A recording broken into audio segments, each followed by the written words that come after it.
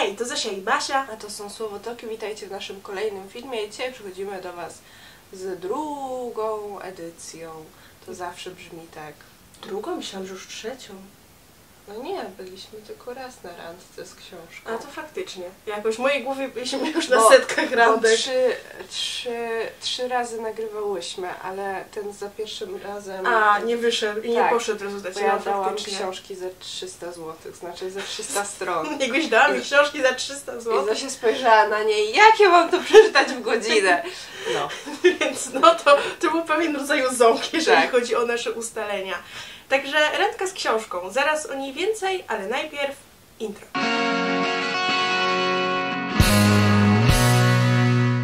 Opowiesz o co chodzi w koncepcie randki z książką? Um, więc to jest trochę randka w ciemno e, z Krzysztofem Ibiszem, tylko bez Krzysztofa Ibisza i z Kasią Cichopek. Zamiast Krzysztofa i Kasi jesteśmy my. My. Basia i Zosia. Czyli każda z nas wybiera drugiej po trzy książki, ale są to książki krótkie, żeby dałoby się, żeby dało się je przeczytać w miarę krótkim czasie w kawiarni. Tak myślę, że do dwóch godzinek. Tak. Um, I tak jak na Tinderze ludzie promują siebie robiąc śmieszne albo nieśmieszne opisy, tak my tutaj zrobiliśmy, zrobiłyśmy śmieszne, nieśmieszne opisy, wypunktowałyśmy cechy tej książki, jakby ona była po prostu osobą z Tindera. I Ale jest to w drugą stronę blind date, dlatego że druga osoba nie widzi okładki. tak, tak, Więc mamy, tylko po cechach wybieramy. ja mam je w woreczkach, stwierdziłam, że Wow! pójdę w eko. No ja wy, wykorzystywałam resztki papierów. No ja nie mam papieru, Więc dlatego. jedna z nich jest Plus- tak sklejona, że to jest po prostu... Ja tak nie lubię pakować książek. Ja zaraz znajdę tą No to jest ta. Ona ma tutaj taką Ale ładny papier. Taką łatę, więc wzięłam po prostu wszystkie, wszystkie skrawki papieru. Jakby chciałam Ci pokazać moją krzywą grzywkę. Jest piękna. Nie, jest bardzo ładna. Ale wiesz co, ja lubię uniesione grzywki. Jakby to jest mój vibe. No. Dzisiaj kręciłam grzywkę i jeden wałek zakręciłam źle i potem lakierem musiałam trzymać ich, ponieważ robiła nie, taki miałam jeden kosmyk, który się wywijał. no, chciałam ją ściąć dosyć krótko, żeby było mi widać brwi, Aha. ponieważ ogółem myślałam, że mój dowód kończy się w kwietniu tego roku. Okazało się, że mam jeszcze dwa lata. Stwierdziłam nie. Robię to w tym miesiącu, ponieważ ja z 2016 Mhm. Jakby wkleję wam tutaj mnie z 2016. Ja już tak nie wyglądam. Inny człowiek. Tak. Nie? A jak zrobię teraz, to myślę, że tak będę wyglądać przez następne 10 lat. Rozumiem, jakby to już jest ten moment, w którym przestajemy się Tak. starzeć. Plus to jest ten moment, kiedy już mam look i go nie zmieniam. To która z nas zaczyna? E, zacznij. Ty. Dobra. Czekaj, muszę znaleźć jedyneczkę. Jak tam ten moment w twoich bułce? Okej. Mm. Kandydatka numer jeden. Jest podróżniczką w czasie. Wow. Antywojenna.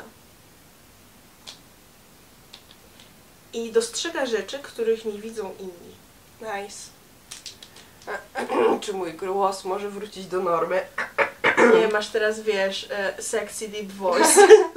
Nice. Ja mam po cztery. Tak? A ja mam po trzy, no, ale to wiesz. Tak, ale to nie ma problemu. Ja po prostu... Żadnego. No dobra, to dwójeczka. Pier, Kandydatka. pierwszka, pierwsza, pierwsza jest bardzo fajna. Znaczy, wiesz, wiesz, już kiedyś ustaliłyśmy, że jak wybieramy sobie książki, to wybieramy wszystkie fajne. Nie chodzi o to, żeby któraś ci się nie spodobała. Wiesz, to jednak ma być fajna randka. Więc kandydatka numer dwa, mimo tego, że jest źle oklejona, to ma wspaniałe cechy. Ma swoje demony. Walczy o siebie. Porusza wątki zdrowia psychicznego. O, nice. Ej, zestresowałam się tym, jak powiedziałaś, że wybieramy fajne książki. Ja tak, a nie! Jeżeli moje nie są fajne? Basia, chill out. Oczywiście, że są fajne, bo wybrałaś je ty dla mnie. Jakby to jest dosyć prosta zasada. I kandydatka numer 3 jest najmniejsza w formacie, ale nie mniej ciekawa, tak mi się wydaje. Kocha Londyn. W snach staje się wędrowcem. Schodzi do podziemia. Boże święty, wszystkie brzmią super. Możesz, chcesz sobie sprawdzić wagę, bo każda jest innej wagi. To jest chyba najcięższa. najcięższa. Okej. O, ta jest ciężka też. A ta jest za to leciutka. No. Cholipka. Kandydatka numer jeden. Kandydatka numer dwa. Trójkę! Trójkę wybierz, panie! Um, no dobra, to myślę, że jedynka odpada. Mhm. Czyli nie, nie, nie wybieramy, teraz przypomnę, antywojennej podróżniczki, podróżniczki w czasie. Okej, to odkładam na bok. Um, myślę, że chyba będzie trójka, bo mhm. dwójka ma to zdrowie psychiczne Mhm. i chyba nie czuję się chwilowo. Jakby muszę przeczytać pięć z 500-stronicową książkę z polecenia terapeutki i wystarczy mi na razie. Rozumiem. Nawet nie wiesz, jak cieszy mnie twój Czy Basia wpadła w moją randkową pułapkę? Być może.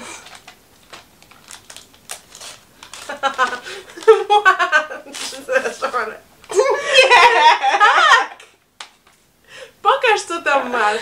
Ej, ale to jest przed tomem pierwszym? Tak, to jest Okej. to, tom 0,5. Znaczy, on jest chyba półtora, ale to się dzieje przed tomem pierwszym. No dobra. Może to czas. Może 2024. Patrzyłam No na nie? nie i pomyślałam sobie, dlaczego mam to czytać, jak nie ma jeszcze piątego tomu. I potem co, będę siedzieć z wami i, i żałośnie czekać. czekać. Wiesz co, zanim mnie przeczytasz, ale to jest taka seria, w której kończysz, tak, ten, przynajmniej, no, ponieważ ja też czytałam w ten sposób, że e, skończyłam na końcu maskarady, że ja byłam tak usatysfakcjonowana tą książką, że wcale mi nie robiło to, że, że czekam. Jakby to jest taka seria pełności. Więc jest to e, nowelka ze, ze świata... e, Kości. Ze żniw. Tak, Tak, bo w sumie to jest e, z czasu żniw. z czasu żniw. Więc tutaj mamy e, taką nowelkę, która jest prequelem do pierwszej części. I jakby ta tabelka mnie tak przeraża. Próbowałam ją i ja tak nie lubię, jak trzeba się wbić w świat i jest mnóstwo informacji na początku i musisz Wiesz zapamiętać. co? Nie, nie musisz ich zapamiętywać. I w ogóle nawet w tamtej nie musisz tego zapamiętywać. Ja na tą tabelkę w ogóle nie patrzyłam do momentu, aż czytałam nowelki, dlatego że Mhm. ja przecież większość tych książek A, przesłuchałam. miałaś... No, no I dobra. nie, nie robiło mi to w ogóle. Jakby orientujesz się w miarę, a potem ta tabelka jest po prostu bardziej ciekawostką, że masz takie, o, to sobie zajrzę, jakie są jeszcze rodzaje, nie? O, to w sumie też jest przyszłość, 2056. Tak, tak. Bo, bo te wszystkie książki dzieją się w przyszłości. Nie, jakoś jak powiedziałaś Londyn, to miałam takie XVII wiek, XVIII wiek. Chciałam Ci przypomnieć, że dokładnie tak miałaś, jak przeczytałaś o, opis czasu żniw i potem się zdziwiłaś, że to się dzieje w przyszłości. Zawsze. I że to jest futurystyczna Zawsze. książka. No dobra, będę czytać. Jej! Jakby jestem trochę podekscytowana. Pomyślałam sobie, że jeżeli pojedziemy razem na działkę, to możemy też zabrać te książki randkowe na działkę. O, I sobie tam to wtedy nagrać. to super. Boże, ilustracjo. No, no dobra. To teraz... To teraz ja i moje eko te, biały w żółte kropki. To jest ta Kandydatka numer jeden. kandydatka naj, najcieńsza. Trochę utożsamia się z dystryktem 12. Okej. Stawia sobie odwieczne pytanie, co jest dobre, a co złe. Dużo mówi o kobietach, Mhm. ma powiązania z kościołem. Okej, chyba wiem, co to jest. Chyba wiem. Dzięki temu kościołowi, co nie? No właśnie nie wiem, czy dzięki temu kościołowi, ale patrzyłam ostatnio na pewną książkę Mhm. i zastanawiałam się sobie, bo na początku myślałam, że jest do niej audiobook, okazało się, że nie ma, że jest dosyć krótka i pomyślałam sobie, czy może jej nie przeczytam na telefonie, a potem sobie przypomniałam, że ty ją masz, a potem przypomniałam sobie, że będziemy ten film nagrywać i miałam takie, okej, może ją dostanę. No, to jest jedna z y, niewielu cienkich książek, którą mam. No to zawsze jest tak, że to daje taką... Jeszcze tutaj dobrze działają e, powieści graficzne, nie? Mhm. Mogą być trochę dłuższe. Kandydatka numer dwa, czerwona Mhm. kratka. Jest trochę samotnikiem, ale potrzebuje przytulenia. Kto nie potrzebuje. Myśli stanowczo za dużo. mhm. Szybka randka, potem lulu. Jakby trochę, trochę mnie przeraża, cieszy i śmieszy, że mniej więcej to samo powiedziałaś o tym filmie, że go nagramy a potem Lulu. No dobra. Twój przyjaciel jest jej wrogiem. Okej, okej. I e, pani, pani z czerwoną gwiazdką, duże serce. Mhm. Ledwo jest w stanie pomieścić w sobie wszystko to, co ma. Ma super rodziców, Mhm. trochę frustruje, ale głównie koi. Hmm. Na pewno nie chcę drugiej. Ona brzmi jak tłumacz. Tłumacz jak, jak na randkę, więc, więc można odrzucić. I zostajemy z jedynką i z trójką. Jedynkę poproszę. Myślę, że to dlatego, że już wiesz, co tam jest. No właśnie nie wiem, czy wie. Tak, wiedziałam, co tam jest, ale, ale miałam ochotę przeczytać tę książkę. Spoko. I to, to, w jaki sposób mi ją randkowo sprzedałaś, tym bardziej mnie kupiło. Tak, to jest ta książka. Zresztą dostałaś ją ode mnie. No tak. No. A czy ty ją czytałaś już? Jeszcze nie, ale Okej. dru- drugą książkę e, tej autorki Mm, tak, Claire Keegan, bo to jest A, pewnie irlandzkie nazwisko. chciałam więc dodać na czytnik, potem sprawdziłam, że może najpierw przeczytam drobiazgi. Mhm. Właśnie.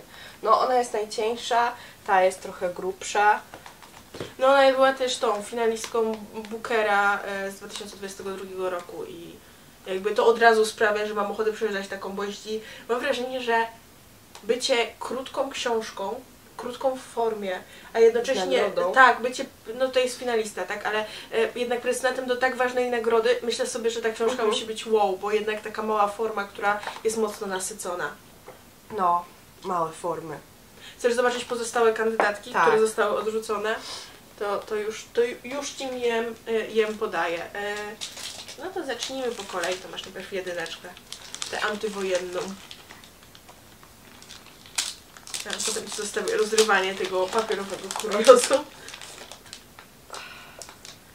Dawaj mordo. Śmiało możesz rwać. Czy to jest... Czy to jest rzeźnia numer 5? Tak, to jest rzeźnia numer Ona 5. jest, to ciężko jest. No, ciężko jest. No, to jest powieść graficzna. Straszna jest ta kreska. No jest, ale ta książka sama w sobie też jest trochę straszna. Pasuje, pasuje estetycznie do tego. No w sumie no, ona dotyczy tragedii II wojny światowej. No. A jednocześnie jest powieścią, powieścią science fiction, także dobry miks. Boże, to też jest ciężka. O! No, to jest też książka, którą chciałabym przeczytać. Hmm. No, No, ja już jestem po i mi się bardzo... to bardzo zostawię ją podobała. sobie, okej? Dobrze, jasne, jasne. Będę ją zresztą powiedzieć jeszcze we frapapie. O, no to No super. właśnie, między innymi dlatego dzisiaj, jak się spotkałaś, mówię, właśnie może zaczniemy od randki z książką, bo jedna z moich książek jest zapakowana. No No znaczy dobra. tego nie powiedziałam, ale To numer dwa. okej. A, okej, okej. Jakoś nie skojarzyłam w ogóle tego opisu, ale fajnie, wezmę, znaczy nie teraz, bo teraz mam trochę książek, ale na pewno sobie e, pożyczę od Ciebie ten komiks. No, podobało mi się. Mhm. A z tego co pamiętam, właśnie Kaja, Kaja ci napisała, że nie warto. A, Jak a. chciałaś ją, jak zaznaczyłaś na Goodreadsie, że nie, Mhm. nie ch- że chcesz przeczytać, to ona napisała, że nie, Zosiu nie warto. No. Ale mi się bardzo podoba, ja w ogóle e, tą artystkę obserwuję na Instagramie, Mhm. ona te duszki tak bardzo ładne w kolorze, to wszystko wygląda. To Super. moja estetyka, no.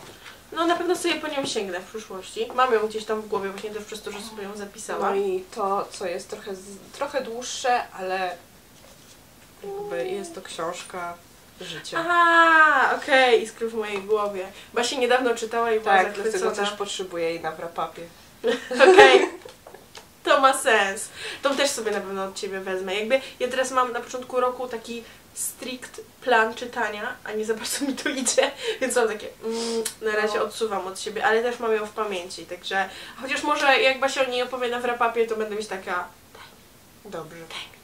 Zobaczymy. Słuchajcie, to teraz przechodzimy do tej części, która jest taka bardziej estetyk i potem wrócimy do Was e, z naszymi krótkimi recenzjami.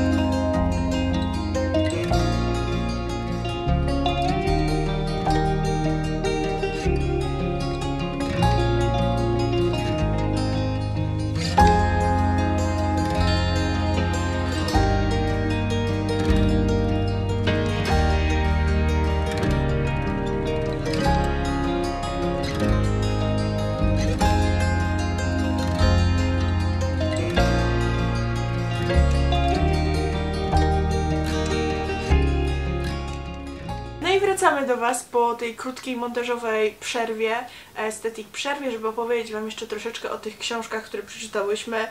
Jeżeli wyglądamy inaczej, to na każdym z tych Minęły części... 4 lata. tak. Zresztą jeszcze zanim wpadłyśmy na pomysł kanału, nagrywałyśmy randki z książką.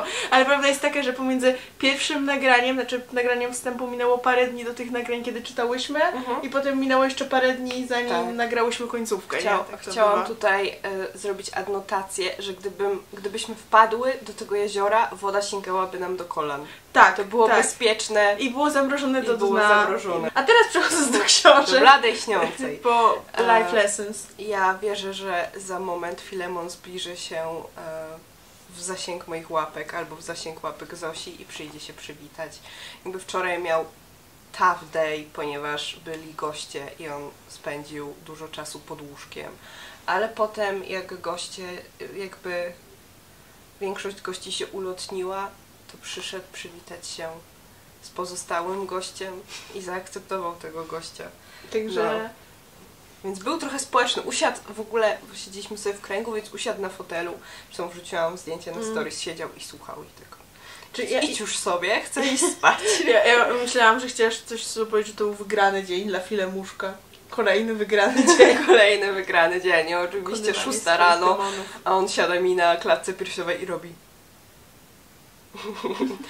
Dobra, wracając do bladej śniącej, czyli e, połowy tomu 0,5, co Tomu 0,5, do prequelu. 0,5 0,5. Okej, tomu 0,5 e, do czasu żniw, czyli e, początki naszej page w świecie jasnowidzów.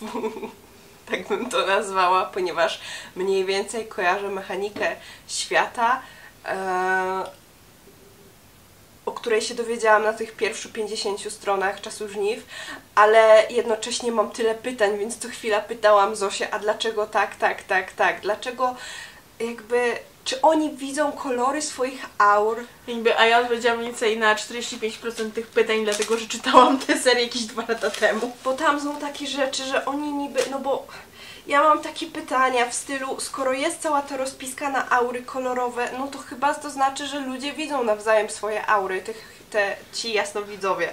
Ale jest taki, jasnowidzowie? Tak. Ale jest taki moment, w Albo którym... jasno widzę. No. Polski język chyba jednak lubi skracać, więc... Jest taki moment, w którym ta jedna z mim królowych e, podchodzi do Paige i pyta się, kim ty jesteś. No ale no chyba widzi, że ma rąbaną czerwoną aurę. Ale ustaliłyśmy, że te między czerwienią, czerwono-pomarańczowym, a pomarańczowym różnica jest bardzo subtelna. No tak, ale to my ustaliłyśmy jako znawczyni tego koloru, co nie? Tak, ale ja ci potem powiedziałam też o tym, że ten podział, który jest, był umowny i że potem to się pojawia w kolejnych Rozumiem. Ale to nie było takie, że miałam, Boże, jakie luki w świecie, tylko takie mam za mało informacji. Chcę więcej informacji, ale nie chcę czytać dalej. Jakby bardzo mi się podobała. Jakby ta- to miała być motywacja dla Basi, żeby jednak czytała dalej, ale jednak Ja po Nie. prostu to dlatego, że ja dosłownie przed czytałam Jaśminowy Tron, który miał prawie 700 stron i on mnie tak przez, przeorał, że ja na myśl o tym, że miałabym przeczytać coś, co ma więcej niż 200 stron, czuję drgawki. No także to jeszcze nie jest właśnie czas ale czas bardzo mi się podobała ta śniąca, blada śniąca i w ogóle bardzo e, podoba mi się język, ponieważ jest taki bardzo dynamiczny. Mm. Chyba trzy razy powiedziałam bardzo, bardzo, ale on jest dynamiczny, no i bohaterowie też są całkiem spoko. I ten świat, który jest taki futurystyczny, ale jakby ciągle zapominałam, że to jest 2056 i za każdym razem, jak któryś z nich wyjmował telefon, to ja miałam takie to już wynaleźli telefony. No to też była nasza rozmowa na temat tego, że właśnie ten świat Shannon czerpie właśnie z tych tradycji takich wiktoriańskich, No. też językowo, co potem jest rozwinięte w kolejnych częściach, a jednocześnie jest właśnie, no jednak to jest sci-fi, jakby nie patrzeć. Tak mi się klimatem w ogóle kojarzyło z Schwab i jej serią Cassidy, czyli Most Duchów, Miasto Duchów, Korytarz Kości, Mhm. coś tam, coś tam, Most Dusz, Miasto Duchów. Jakby I myślę, korytarz że, kości. myślę, że jest szansa, że wymieniłaś wszystkie trzy części. A że właśnie, że właśnie taki klimat tych duchów, które się tam wałęsają i ich trzeba je zbierać. Ja wciąż zadałam pytanie, po co oni zbierają te duchy? Czy to jest jak Pokemony? Wiesz, masz dużo pytań, na które jak widać chcesz znać odpowiedzi. Tak. A jest jeden sposób, żeby zebrać te odpowiedzi i nie polega on wcale na pytaniu randomowo mnie, w momencie, w którym ja słucham książki na słuchawkach, a Basia odradza się, jak to jest? Ej, a ta Jest- szpula, co jest, nie? jest takie coś, o patrz, patrz, patrz, Jakby, patrz, tutaj, to nie jest daleko twojej głowy, odpowiedź leży tutaj. jakby a, wciąż, ale szanuję za to, że czytałam te 56 stron dwa lata temu. Ja wciąż pamiętam, co się tam działo. Nie miałam, żadnego, nie miałam żadnego problemu w wejściu z, do tego. świat. Oczywiście musiałam wypytać Zosię o y, edukację, Tak, o sposób kształcenia w Wielkiej Brytanii, ponieważ nie rozumiałam, jakim cudem 16-latka skończyła już wszystkie szkoły. Ale, ale jak widać dotarło się do tego i było to całkiem interesujące. Także był też element dodatkowego researchu. Ta książka bawi, uczy i wzywa. Słyszysz jak mówi? Czytaj mnie, czytaj, Dobrze. czytaj mnie. Dobrze, ale Może przeczytam kiedyś. w tym roku słowo niedawnego, dawnego zucha. Dobrze.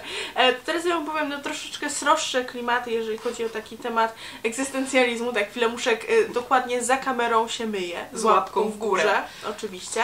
E, mamy tutaj lata 80. i też nie chcę wam za dużo zdradzać. Na początku miałam taki pomysł, że opowiem wam o całej w ogóle historii, która jest związana z tą książką, ale po sobie myślałam, że to dużo odbiera w czytaniu jej. E, ważny jest tutaj element może część z Was o tym słyszała, dlatego po prostu rzucę hasłem, e, ale nie będę mówić więcej i jest to e, sprawa domów samotnej matki w Irlandii. Sprawa, która trwała tak naprawdę do lat 90., jeśli dobrze pamiętam, do końca lat 90., od lat 20. XX wieku, a tutaj mamy lata 80. i mamy naszego bohatera, Billa Furlonga, który jest y, dorosłym mężczyzną, ma już w tym momencie kilka córek, bodajże, nie wiem, trzy albo cztery, żonę, pracuje, jak na tą sytuację, która jest w tym momencie w Irlandii, całkiem nieźle mu się nawet powodzi, tak? To jest, to jest ten moment, w którym wiele osób wyjeżdża, wiele osób musi zamknąć swoje biznesy ze względu na sytuację ekonomiczną. Ogólnie mamy taki, no, środek kryzysu. Mamy też czas okołoświąteczny, który mocno z tym kontrastuje. Bill zajmuje się em, dowożeniem e, węgla e, Mhm. i w ogóle rozprowadzaniem węgla, więc to też jest taki element, który mocno pokazuje, w jakim stanie jest to społeczeństwo. Wiele osób bierze na krechę, tych, których nie stać. On, on się na to zgadza a, i, i tak sobie żyje tym swoim takim codziennym życiem i właśnie docierają do niego te wszystkie drobiazgi tego życia. I w pewnym momencie natrafia na pewną sprawę właśnie związaną z tym jednym z tych domów samotnej matki, która jakoś tak zaszczepia mu się w głowie, że to do niego wraca. I na, te, na tych naprawdę kilku stronach, no może nie kilku, kilkudziesięciu stronach, ale jest ich, jest ich mniej niż sto, e, mamy tutaj taką bardzo ważną historię, właśnie historię o tym, jak te wszystkie drobiazgi, które nas otaczają, one po prostu istnieją w naszym życiu, ale w tym codziennym takim zamęcie rzadko mamy szansę do tego, żeby przysiąść i je pozbierać. I że wiele zależy od tego takiego naszego wkładu i tego poczucia jakby takiego też może ludzkiego spełnienia i tego faktu, że właśnie tego poczucia, że jesteśmy ludźmi, to, że mamy właśnie tę możliwość, żeby zatrzymać się i czasem przyjrzeć się tym drobiazgom. A i że to czyni nas właśnie, właśnie ludźmi i to w sumie czyni nas też odpowiedzialnymi za swoje i za życie innych. Tak naokoło zakończę. Także bardzo polecam. W ogóle e, od momentu, w którym mówiłam Wam e, o, o tym, że będę czytać, to znaczy kiedy wybrałam tę książkę z puli, którą zaproponowała mi Basia, do momentu, w którym zaczęłam ją czytać, e, ona się pojawiła w audiobooku. Przynajmniej na Legimi. Był taki moment, że była w przygotowaniu, ale wreszcie ten audiobook się pojawił. To jest, są przyjemne bardzo dwie godziny słuchania. No, w przypadku jak słuchacie szybciej, no dla mnie to była godzinka. Także super, jest też bardzo, bardzo ładnie przeczytana, także jest to też opcja, żeby sobie sięgnąć w audio. Nice. Także polecam Ci ją bardzo. Że Ci się podobała. No może właśnie ją przeczytam sobie. Jakby mam, mam takie jakieś poczucie spełnienia, że dałam Ci ją w prezencie, Ty jeszcze nie przeczytałaś, ja ją przeczytałam, ale jak ją przeczytałam, to miałam takie to był dobry prezent, to jest naprawdę wybitna książka. I, dobry prezent. I że to jest taka kurcza miniatura, która Mhm. tak wiele, wiele w sobie zebrała. No po prostu to jest, to jest niesamowite. Szapoba po prostu tutaj dla, dla autorki. E, I też polecam potem oczywiście po przeczytaniu, jeżeli nie za wiele wiecie o tle tej historii, on jest tam wspomniany trochę w posłowie, żeby zrobić sobie research i o tym poczytać, bo to jest naprawdę bardzo przykra i taka obciążająca historia, ale myślę, że my o niej dosyć niewiele wiemy, mimo tego, że miała swój kres ledwie 25 lat temu. No 26 już powiedzmy. Słuchajcie, to będzie tyle. Dziękujemy Wam, że poszliście z nami na randkę z książką. Oczywiście zachęcamy Was do tego, żebyście też sobie robili takie randki. Zwłaszcza jeżeli macie jakieś krótkie książki, które gdzieś tam na Waszych czytnikach albo półkach zalegają, żeby właśnie zrobić sobie jakieś takie przyjemne, wolne popołudnie, posiedzieć, wypić herbatkę, poleżeć, może zrobić sobie właśnie takie spotkanie też z kimś bliskim Wam, a bo jest to zawsze takie przyjemne, a z drugiej strony nie jakoś mocno obciążające, no bo sięgacie po krótką formę. A poza tym oczywiście wpadajcie na nasze Goodreadsy, tam możecie zobaczyć, co czytamy na co dzień, chodźcie też na naszego Instagrama, tam częściej bądź rzadziej dzieją się różne rzeczy, a jeśli chcecie kupić fajną, taylorową albo książkową świeczuchę, to macie link do świec Basi poniżej. Także e, ściskamy Was mocno, no i co? Do następnego. Trzymajcie się, pa!